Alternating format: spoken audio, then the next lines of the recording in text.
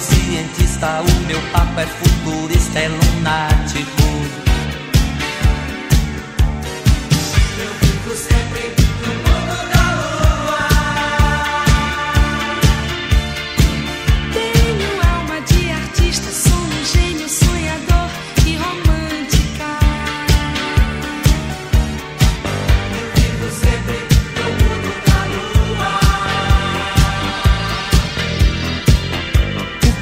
sua aventureira.